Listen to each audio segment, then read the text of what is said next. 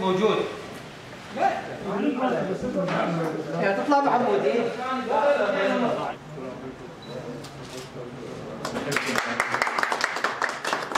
أجهزة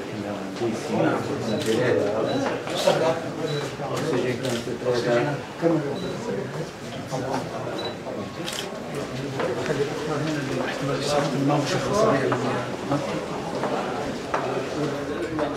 المستشفى العناية المركزة الحالات الخطرة الحرجة جدا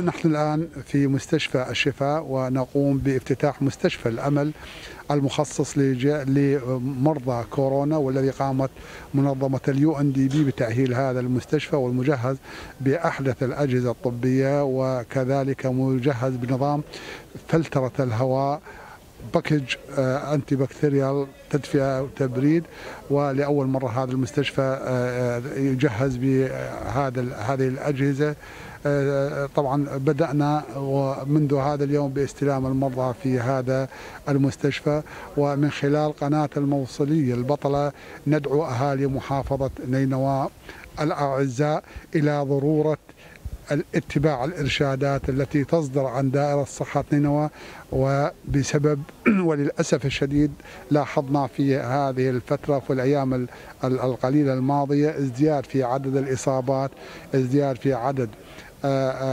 المرضى الداخلين في مستشفيات المحافظة بسبب, بسبب عدم التزام المواطن الموصل بالإجراءات. يعني بصراحة هناك العديد من المواطنين آه، طبعا ليس لديهم قناعة أو ثقة بأن هذا الوباء موجود ولكن نحن نحذر هؤلاء الم- ال- ال- ال- المواطنين ونقول لهم عليكم الاتباع. الارشادات ونقول لهم من الضروري جدا القيام بأخذ اللقاحات التي وصلت إلى آه، دائرة صحه نينوى وبالامس وصل لقاح فايزر الأمريكي آه، وبدأت دائرة صحه نينوى على الفور بتوزيع هذا اللقاح على على المواطنين. هذا اللقاح موجود ووزع آه، وسلم إلى مستشفى ابن سينا في الجانب الأيسر وكذلك مستشفى موصل عام في الجانب الأيمن.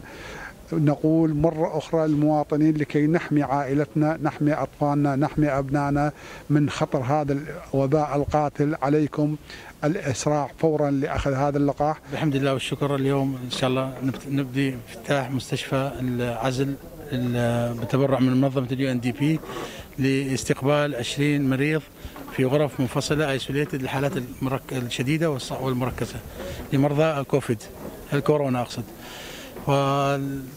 والمشروع يتكون من 20 سرير 20 غرفة مع- معزولة ومختبر وغرف للأطباء و بدعم من دائرة صحة نينوى بجهود دكتور فلاح الطائي ومنظمة اليو ان دي بي مشكورين على ذلك.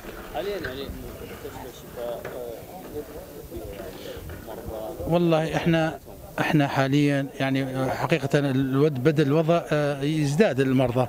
يعني الموسم مالتنا هسه حاليا إحنا حوالي 24 مريض عندنا. 23 إلى 24 مريض 25 مريض. إحنا قبل شهر كان عندنا ثلاث مرضى. شلون حالتهم؟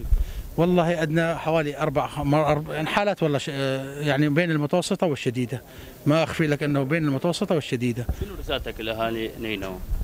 والله أنا أنصح أهالي الموصل. أنا أول آه، بالتلقيح لقاح أخذ اللقاح ال- الفايزر الأسترازينكا كله ولا يسمعون الإشاعات إنه حول إنه موضوع بأمراض أو أشياء مغرضة أو أي شيء أي آخر. أنا أول الناس لقحت اللقاح.